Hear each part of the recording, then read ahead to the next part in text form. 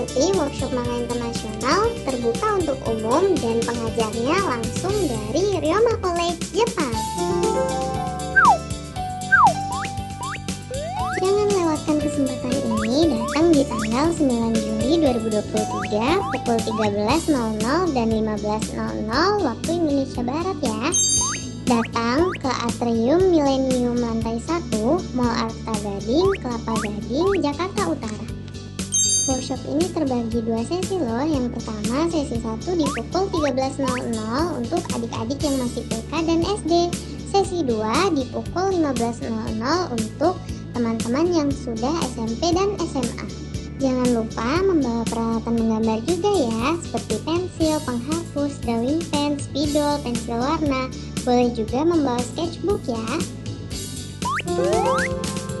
Berikut foto sensei yang akan datang di tanggal 9 Juli ya.